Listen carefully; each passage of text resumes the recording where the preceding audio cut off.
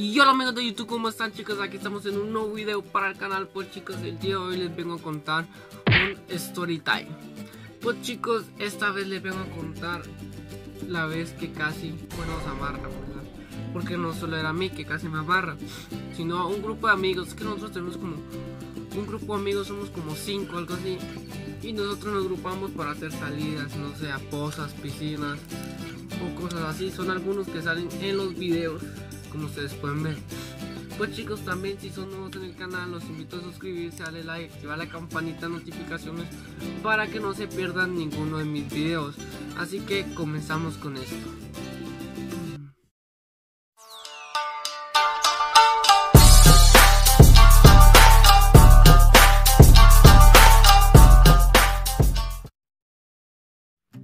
Y bueno chicos, todo empezó un día así normal, estamos en las casas así mensajeando así, mal, ¿qué vamos a hacer hoy? Y todo eso.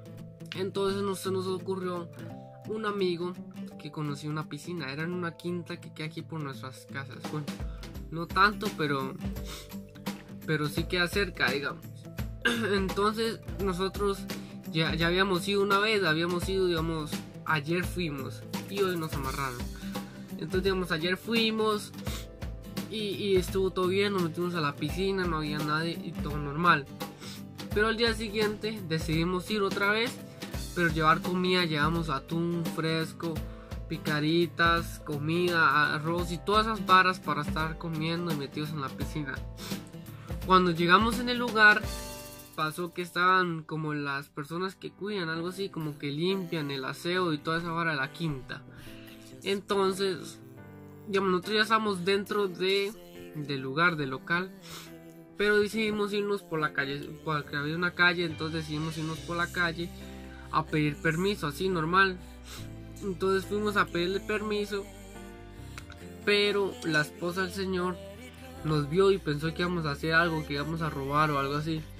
Entonces el señor salió así con un machetón, pero era un machetón como algo así, nunca había visto un machete tan grande como ese y llega y nos para y nos dice, hey, ¿qué andan haciendo ustedes aquí? Ustedes saben que eso es propiedad privada, no deben andar aquí nosotros. Ahora, ¿qué hacemos, verdad? Entonces nos empieza a preguntar nuestro nombre. Me pregunta a mí y dice, ¿cómo se llama usted? Y digo, Juan, el primer nombre que se me viene a la mente, así digo yo cuatro letras, Juan. Luego le preguntan a otro amigo, dijo Andrei. Luego dijo otros que se llamaba, que dijo que se llamaba Stuart. Y uno que es así, medio así, le preguntan, ¿cómo se llama usted? Y le dice, no sé. Y le dice el mae, ¿cómo que no sabe cómo se llama usted? Y le dice, eh, Felipe, me llamo Felipe. Y el mae se quedó todo asustado. Pero sabe, solo nada cuatro de nosotros. Y entonces esos más estaban demasiado asustados. Y la, la, esposa del señor empieza así con el teléfono, así. Hablar con, como, hablar con los dueños, algo así, y decirles que, que nos habían metido pero ellos habían dado cuenta que la vez pasada habían ido unos carajillos y habían ensuciado la, piscina, habían dejado un montón de basura y todo eso. Entonces ellos pensaban que éramos nosotros, bueno, éramos nosotros, pero éramos con diferentes personas. Entonces nos preguntan, ¿y dónde vienen ustedes? Y yo le dije, desde Carbonal, y desde allá arriba vienen. Y yo le dije, sí, ya hay, hay una piscina y sola y nos venimos, ¿verdad? Mi se la creyó. Y luego la esposa del señor nos empezó a tomar fotos. Según ella, disimuladamente, pero nada disimulada tenía, porque como que se escondía así con el señor. Se escuchaban un tema las fotos y todo. Pues dice el señor, ahora sí, ahora sí, los vamos a amarrar hasta que llegue la policía. Vamos a ir a cada una de las casas de ustedes a hablar con sus papás porque eso no pueden andar haciendo y no sé qué cosas. Y yo estaba asustado, obviamente, pero no estaba tan, tan asustado porque sabía que era, que, bueno, no sabía que era mentira, pero a la vez sí. Y los otros dos más se asustaron un montón, como decimos aquí, y se cagaron, ¿verdad? Entonces los más salieron corriendo. Papá, salir afuera del local, los, bueno, los señores que están ahí cuidando no hicieron nada. Y me preguntan, ¿por qué ellos se van corriendo? Yo les dije, di, yo no sé nada, el que nada debe, nada teme, ¿verdad? Entonces dejó que se fuera. Y luego a nosotros nos dejó también que, nos fuéramos.